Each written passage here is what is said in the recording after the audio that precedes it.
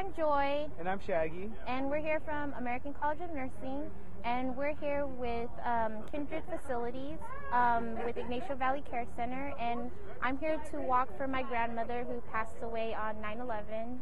And I'm here walking for my mother who passed away on 2001, January 26th. And we're here just to support, um, we're just here to uh, show our support and to raise awareness about Alzheimer's.